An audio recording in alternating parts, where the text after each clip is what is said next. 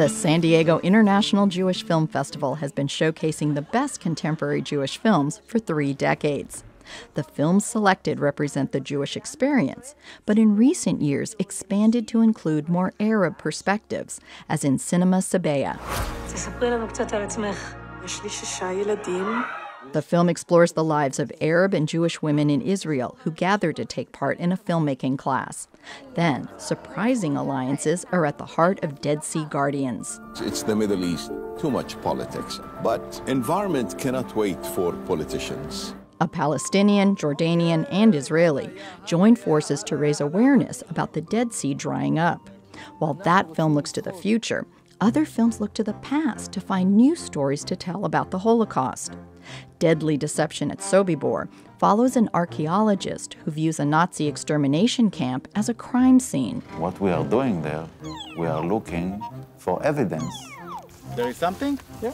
Filmmaker Gary Hawkman hopes that films like his will aid in teaching about the Holocaust.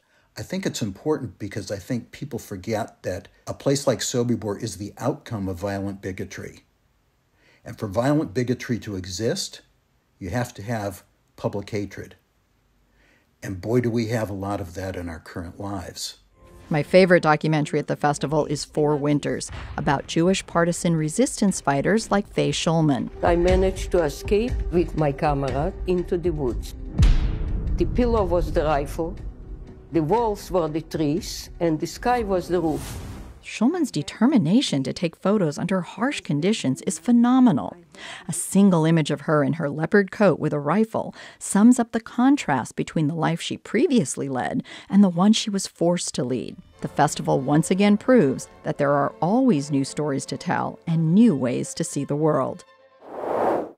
Thanks for watching. I'm Beth Accomando, KPBS Arts and Culture reporter, and I cover the arts in San Diego. So please subscribe to the channel and check out the playlist.